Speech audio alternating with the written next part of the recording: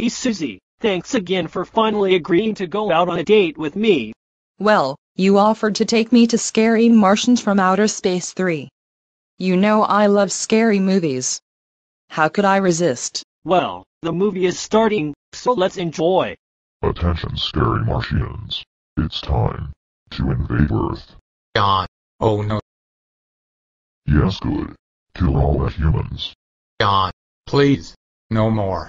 We Martians will rule the world. Everyone must die.